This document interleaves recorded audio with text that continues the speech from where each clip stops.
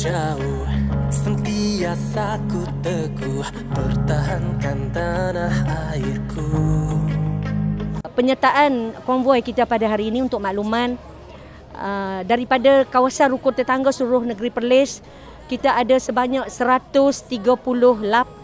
motosikal yang mana uh, setiap motosikal ini ada penunggang dan ada pembonceng. So jumlahnya melibatkan hampir 300 orang penyertaan daripada kawasan rukun tangga negeri Perlis dan um, saya ucapkan ribuan terima kasih juga kepada uh, Kelab Bikers Gabungan Utara yang mana yang diketuai oleh Datuk Syukri. Terima kasih banyak-banyak kerana bikers juga uh, membawa penyertaan seramai 50 motosikal pada hari ini dengan uh, melibatkan hampir 100 orang jugalah daripada gabungan Kelab Bikers dan juga daripada Unimap juga kita melibatkan uh, pelajar-pelajar daripada Kelab Rukun Negara uh, melibatkan seramai uh, 50 motosikal uh, juga uh, 100 terdiri pada 100 orang. Keseluruhan penyertaan kita hari ini melibatkan agensi kerajaan, NGO. Kita ada sebanyak 236 motosikal. Jadi jumlah penyertaan kita pada hari ini hampir keseluruhan dengan sambutan yang disediakan oleh penduduk pada hari ini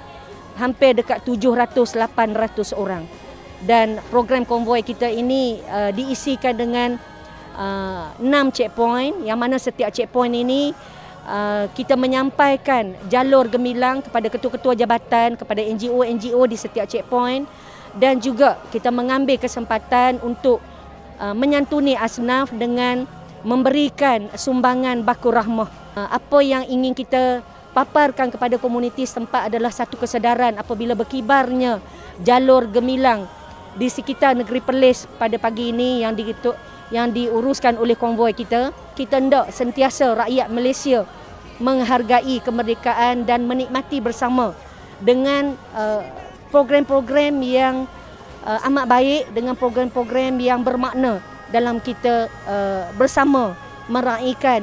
sambutan Hari Kemerdekaan ke-66